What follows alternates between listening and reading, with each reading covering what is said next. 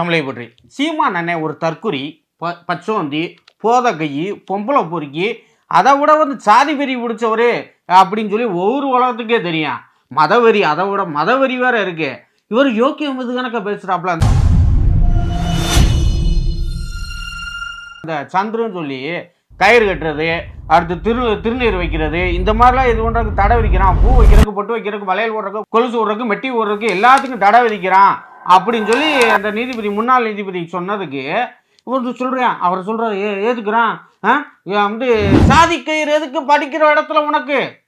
தற்குறிப்பாயிலே. அது சாதி கயிறு இல்லடா சாமி கயிறு. இந்தா கட்டியிருக்கே இது என்ன சாதி? எனக்கு சொல்லிடுவாப்பா நீ எந்த சாதின்னு இதை கண்டுபிடி இந்த கயிறை வச்சு. ஒன்றும் நொட்ட முடியாது. கருப்பு கயிறு கட்டுறாயடா எல்லா சாதிலையும் கட்டுறாயடா. கருப்பு கயிறு பச்சை கருப்பு போத கை இருக்காயில உனைய மாதிரி போத கை அவன் போய் மந்திரிச்சுட்டு வந்து பச்சை கயிறு கட்டுறான்டா. ஹாஸ்பிட்டலில் போய் கட்டுறியான் மந்திரவாதிட்ட போய் கட்டிட்டு வரையான் இனிமேல் நான் குடிக்கவே கூடாது அப்படின்னு பச்சை கயிறு கட்டிட்டு வரையான் நீ என்னடானா வந்து இப்போ இப்போ ஜாதிக்கு ஒரு ஒரு கயிறு இருக்கு.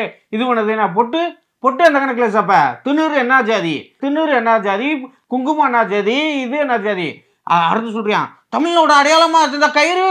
தமிழோட அடையாளமா திலகம்? அட தற்குறிப்பையில தமிழோட அடையாளம் தான்டா கயிறு. கயிறு கட்டுறதாண்டா தமிழரோட அடையாளம். ஒரு போருக்கு போறப்பையும் ஒரு வேண்டுதல் நிறைவேற்றுறப்பையும் வெற்றி திலகமும் கையில கயிறும் வாகை பூவும் சூடி தாண்டா வருவாங்க. பேப்பையில தமிழ் படிச்சிருந்தா தானே நாலு நாளே கவிதை நாலு அடுக்கு தொடரு மனப்பாடம் பண்ணி வச்சுக்கிறது. நாலு வந்து வெளிநாட்டுக்காரங்க அந்த மேக்ஸ்வெல்லு கா மேக்ஸ்வெல்லு கார்ல் மார்க்ஸ் இவங்க தத்துவத்தை நாளை வந்து இது பண்ணிக்கிறது? தற்குறிப்பை இதவே சொல்லுவான் இல்லை பிறப்புக்கள் கட்ட பிறப்புக்கள் எல்லாம் உயிருக்கும் அப்படிங்கிற கயிறு எதுக்கு? அப்படின்னு.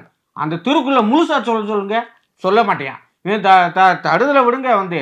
அடுத்து சொல்றியான் பெருந்தலைவர் காமராஜர் வந்து இதுக்கே சீருடை கொண்டு வந்தாரு. அப்புறம் எதுக்கு நீ கயிறு கட்டுற? இல்லை அவள் நல்லவன் ஆடாதீங்க பெருந்தலைவர் காமராஜர் சொன்னதை பின்பற்ற அளவுக்கு இதே மாதிரி தானே கிஜாப்பை சொன்னாங்க.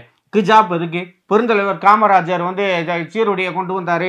அங்கே எல்லாரும் ஒரே மரத்தை யூனிஃபார்ம் கொடுத்தணும் அங்கே போய் சிலுவை எதுக்கு குல்லா எதுக்கு கிஜாப் எதுக்குன்னு கேட்டப்ப நீ என்ன சொன்ன? சீக்கிரத்தை வந்து டர்பனை எடுக்க முடியுமா? சீக்கிரத்தை வந்து டர்பனை எடுத்துட்டு தாடியை வெட்டிட்டு முடியை வெட்டிட்டு அதுக்கப்புறம் வாங்க இங்கே வந்து கிஜாபா கலெக்டர்னு சொல்லி பேசின வாய் இந்த வாய் தானே? ஒன் நார வாய் தானே?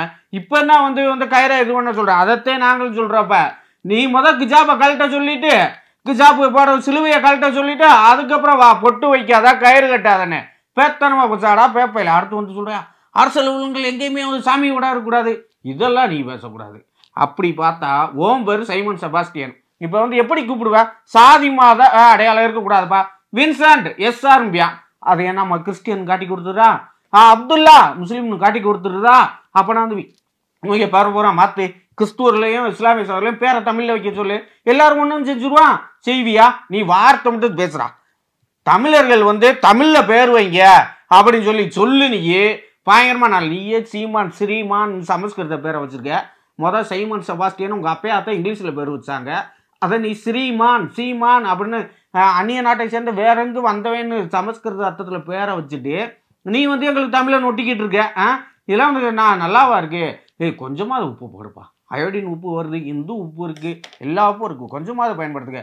சீமான் தம்பிக்கு தான் புரிஞ்சுக்கிறேன்னா உனக்கு சொல்கிறானாப்ப கிறிஸ்துவருங்கிற நாளைக்கு வந்துட்டாப்லையா? சீமான் தம்பி இந்து இந்து தமிழ் பசங்க இந்துக்கள் பசங்க இந்து பசங்க தான் வந்து கூடுதலாக இருக்கீங்க அவன் கூட அவன் சொல்கிறானாப்பா சாமியோட வைக்கக்கூடாது கயிறு கட்டக்கூடாதுன்னு. நம்ம அப்பே அத்தா வேண்டிட்டு வந்து கோயிலுக்கு போன கோயிலுக்கு போனால் கயிறு கட்ட வாங்கிட்டு வருவாங்க. அது பழனி பாத யாத்திரை போனாலும் சரி சபரிமலை போனாலும் சரி திருச்செந்தூர் போனாலும் சரி திருத்தணி போனாலும் சொல்லி பிரசாதமாக கேட்டால் ஒரு துணூரையும் வந்து குங்குமத்தை வச்சுட்டு ஒரு கயிறு தாண்டா கொடுப்பாங்க பேப்பையில். இதாண்டா தமிழரோட அடையாளம். அதை வந்து கயிறு கட்டக்கூடாதுன்னு சொல்லியிருக்காரு. அதுக்கு எதிர்ப்பு தெரிவிக்கலாட்டியும் பரவாயில்ல. அந்த கதை வந்து சாதிக்கேன்னு கொச்சப்படுத்துற ஆ, நீ சாதி வீரியம் தானே. நீ சாதி வீரியம் தானே. யார் யார் உன் கட்சியில் வந்து முக்கியமான பொறுப்பில் இருக்கா? உன் வந்து உன் க ஜாதியில இருந்து தானே இருக்காங்க. சரி அவ்வளோ யோக்கியம். நீ தருமபுரியில் யாருன்னு பாடினா வன்னியர் அக்காவை பாட்டினேன் ஓகே ஏன்னா ரெண்டு வன்னியர் நிற்கிறாங்க நம்ம நம்மளும் வன்னியர் பாட்டுன்னு பாட்டினேன் இந்த நொட்டி வந்து இப்போ வந்து விக்ரவாணி தேர்தல் பாட்டினேன் வன்னியர் தான் பாட்டியிருக்க அங்கே வன்னியர் தான் மெஜாரிட்டி போன இடைத்தேர்தல் ஈரோட்டில் என்ன செஞ்சா?